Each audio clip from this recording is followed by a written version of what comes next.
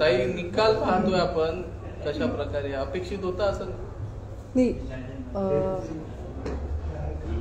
विधानसभा दोन हजार चोवीसच्या निकालाची जी अपेक्षा आम्हाला होती आम्हाला म्हणण्यापेक्षा महाविकास आघाडीतल्या सगळ्याच घटक पक्षांना आणि एकूण महाराष्ट्रातला जो सर्व जाती धर्मांवर प्रेम करणारा आणि महाराष्ट्रावर प्रेम करणारा जो वर्ग आहे आणि जो बहुल वर्ग आहे त्यातल्या कुणालाही ही अपेक्षा निश्चितच नव्हती नसेल.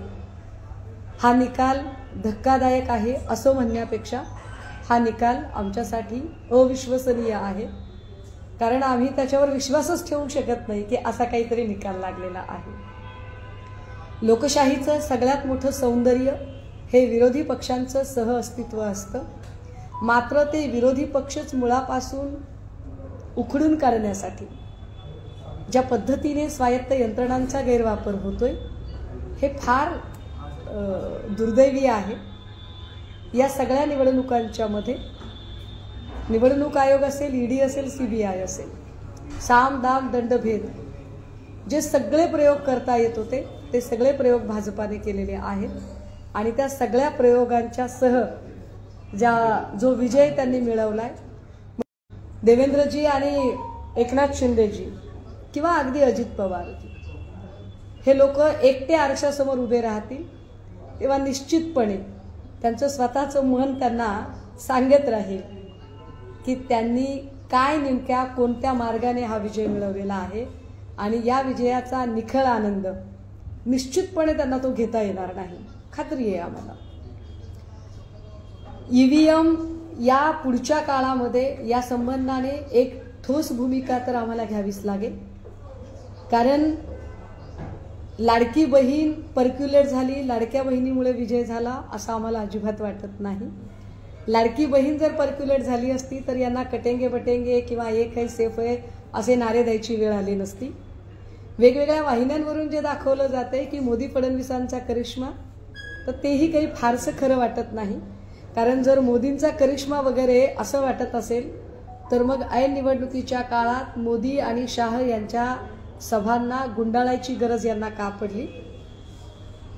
जेवढ्या म्हणून वाहिन्या डिजिटल पोर्टल वर्तमानपत्र या सगळ्यांचे जर सर्वे बघितले तर त्या सगळ्या ऑनलाईन सर्वेमध्ये महाविकास आघाडीला स्पष्ट बहुमत दिसतं.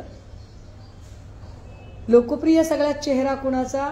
तर तो लोकप्रिय चेहरा सन्मान्य पक्षप्रमुख उद्धव ठाकरेंचा दिसतो.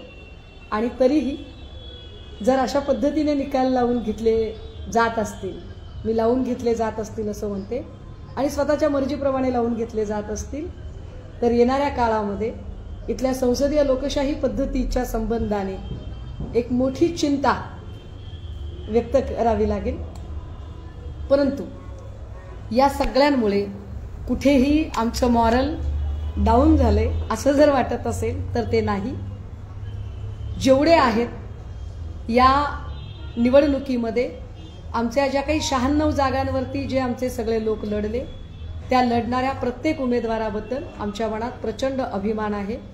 कारण समोर एवढा पैशाचा धोधो पाऊस वाहत असताना आणि सगळ्या यंत्रणा विरोधकांच्या हाताशी असताना सुद्धा ज्या ताकदीने आमचे उमेदवार लढले आणि ज्या ताकदीने त्यांनी ती विरष्टी दाखवली त्या प्रत्येक उमेदवाराचा आम्हाला प्रचंड अभिमान आहे. आणि जरी भाजपच्या कूटनीतीसमोर ते हरले असं दिसत असलं तरी आमच्या नजरेत मात्र ते जिंकलेत असं आम्हाला नक्की वाटतं. त्यामुळे त्या सगळ्यांचा आम्ही प्रचंड अभिमान बाळगतो आणि त्यांचं अभिनंदन करतो. येणाऱ्या काळातली स्ट्रॅटजी काय असेल? येणाऱ्या काळामध्ये आम्ही कोणत्या पद्धतीने सामोरे जाणार आहोत? कारण निश्चितपणे एवढा सगळा कॉन्फिडन्स जेव्हा भाजप कमावते त्यावेळेला इतक्या दिवसापासून ज्या महापालिकेच्या निवडणुका त्यांनी पुढे ढकललेल्या आहेत त्या महापालिकेच्या निवडणुकांना आता ते फार चटकन घोषित करायला तयार होतील कारण सगळ्या यंत्रणा त्यांच्या हाताशी आहेत. पण तरीसुद्धा या सगळ्या काळात नेमक्या काय पुढच्या स्ट्रॅटजी असतील या संबंधाने आम्ही करू. पण एक नक्की की जेवढं या सगळ्या गोष्टींना म्हणजे जर शंभर टक्क्यांमधले जर पासष्ट सत्तर टक्के जर ई व्ही एम जबाबदार असेल तर उरलेला जो भाग आहे तो आमच्या मित्रपक्षांनीही वाटून घेतलेला आहे. ज्या पद्धतीने रामटेक नागपूरमध्ये एक जागा पाडण्यासाठी तिथे उघडपणे मित्रपक्षातलेच लोक प्रचार करतात. सोलापूरमध्ये प्रणिती शिंदे ज्या पद्धतीने धनराज काळादींना पाठिंबा देतात किंवा सत्यजित पाटणकरला जी कुमक मिळते आणि अशा अनेक ठिकाणी याही गोष्टींचा परिणाम होणं स्वाभाविक आहे. पण या सगळ्यांचाच निश्चितपणे पक्षाच्या बैठकीमध्ये चिंतन केलं जाईल त्यावर विचार केला जाईल. आणि पुढची स्ट्रॅटेजी काय आहे या संदर्भाने लवकरच सन्मान्य पक्षप्रमुख पत्रकार परिषद. शिवसेनेचा ग्राफ बघितला ताई तर महाविकास आघाडीमध्ये किंवा इंडिया आघाडीत गेल्यापासून मतदानाचा टक्का हा कमी होत चाललेला आहे ठाकरेंच्या शिवसेनेचा त्या संदर्भात काही चिंतन केलं जाईल का किंवा चर्चा केली जाईल का? दुसरी गोष्ट आपण ज्या ज्याप्रमाणे बोलत परिणिती शिंदे अशा दोन तीन मतदारसंघात अशा झालेल्या नाही हे हे खूप साऱ्या मतदारसंघांमध्ये झालं. जसं की नागपूर रामटेकमधली मी जागा आपल्याला सांगते. बडनेराची जागा मी आपल्याला सांगते. बडनेरामध्ये असंच झालं. नागपूर रामटेकमध्ये असंच झालं. इकडे सत्यजित पाटणकर पाटण हर्षद कदम त्या मतदारसंघामध्ये झालं. सोलापूरमध्ये अमर पाटील यांच्या मतदारसंघामध्ये झालं. तर त्यामुळे या ज्या अंतर्गत लाथाळ्या आहेत या अंतर्गत लाथाळ्या पण त्याला निश्चितपणे काही परिणाम करतात. की समोर जर एवढी मोठी ताकद आपल्या लढणारी आहे तर अशा वेळेला आपल्यातली एकी फार भक्कम असायला हवी. मग ती एकी भक्कम ठेवताना काही लोकांचा ओव्हर कॉन्फिडन्स नडला का? तर त्यावरही विचार करावा लागेल. परंतु हे खात्रीनं की लाडकी बहीण वगैरे असं काही नरेटिव्ह चाललंय असं आम्हाला वाटत नाही. ईव्हीएम आणि या सगळ्यांचा घोळ लपवण्यासाठी लाडकी बहीणचा फक्त चेहरा पुढे दाखवला जातोय. मात्र या चेहऱ्याच्या मागचं क्रूर सत्य फार वेगळं. आम्हाला सकाळपासून ज्या अनेक राज्यभरातनं आणि पक्षाशी संबंधित नसलेल्या लोकांचे जे फोन कॉल येत आहेत किंवा मेसेजेस येत आहेत आणि लोक अक्षरशः रडवेले होऊन जे सांगताहेत की तुम्ही फक्त सांगा आम्ही सगळे रस्त्यावर यायला तयार आहोत. ही ही जी लोकांच्या मनातली जी भावना आहे ती फार मोठी भावना आहे. मला वाटतं ही लोकभावना या जनभावनेचा आम्ही फार आदर करतो. आणि व्यक्तिशः जेव्हा मी पूर्ण राज्यभर फिरले तेव्हा कुठेही आम्हाला असं वाटलं नाही की अशा पद्धतीने काही निकाल येऊ शकतात. दोन चार सीट उन्नीस बीस समजू शकते मी. दहा बारा सीटचं पण मी समजू शकते. पण एखादा पक्ष एकशे पन्नास जागा उभ्या करतो आणि तिथे एकशे सत्तावीस एकशे अठ्ठावीस जागांची तो बढत घेतो. असा स्ट्राईक रेट मी माझ्या आयुष्यात कधी बघितला नाही कुठल्या पक्षाचाही बघितला नाही कुठल्याही निवडणुकांचा बघितला नाही. त्यामुळे या निवडणुकांमध्ये काय घोळ घातलेत काय नाही घातलेत याही सगळ्या गोष्टी. पण या सगळ्यांमध्ये शिवसेनेवर जी एक शिवसेनेच्या बद्दल बोललं जात होतं की तुम्ही सा खूप साधे उमेदवार दिलेत. आणि ते साधे उमेदवार टिकतील का?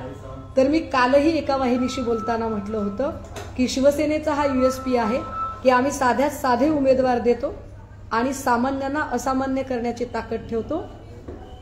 महेश सावंत यांचा विजय हा शिवसेनेचा युएसपी अधोरेखित करणारा आहे आणि महेश सावंत यांच्या विजयाबद्दल निश्चित पक्षाची एक महत्वाची पदाधिकारी म्हणून आम्हाला आनंद आणि अभिमान आहे. तर एक शेवटचा प्रश्न आहे. वारंवार उद्धव ठाकरे सांगत होते की मुख्यमंत्री पदाचा चेहरा जाहीर करा. मग तो कोणत्या पण पक्षाचा असेल आमचा त्याला थेट पाठिंबा असेल. मात्र कुठेतरी ही गोष्ट देखील या सगळ्या गोष्टींना म्हणजे समजताय का? आपण याला याला देखील गृहित धरताय का? की मुख्यमंत्री पदाचा चेहरा जर आपण डिक्लेअर केला असता तर कदाचित काहीतरी निकाल वेगळा पाहायला भेटता भेटला नाही. मी म्हटलं ना की याच्यामध्ये साठ सत्तर टक्के ईव्हीएमचा तर विषय आहेच आहे. आणि उरलेल्या काही भागांमध्ये जो काही थोड्या अजून जी दोन तीन कारणं साईड बाय साईड राहतात दुय्यम कारणं ज्याला म्हणता येतील त्या दुय्यम कारणांमध्ये एक महत्त्वाचा विषय तर हा पण आहे की अंतर्गत लाथाळ्या आणि दुसरं असं की मुख्यमंत्रीपदाचा चेहरा जाहीर झाला पाहिजे अशी एक भूमिका होती. षण्मुखानंद हॉलमध्ये ती भूमिका सन्मान्य पक्षप्रमुखांनी स्पष्टपणे सांगितलं होतं की इथे चेहरा जाहीर करा कुणाचाही जाहीर करा. जो कोणी चेहरा पवारसाहेब आणि बाळासाहेब थोरात जाहीर करतील त्याला आम्ही पाठिंबा देऊ. मला वाटतं की तो चेहरा जाहीर करायला हवा होता. कारण ज्याचे जास्त उमेदवार त्याचा मुख्यमंत्री होईल असं म्हटल्यामुळे हा जो सगळा काही किवास आहे तो पण असू शकतो. परंतु निश्चितपणे या सगळ्यांच्या संबंधाने विस्तृत चिंतन केलं जाईल. थँक्यू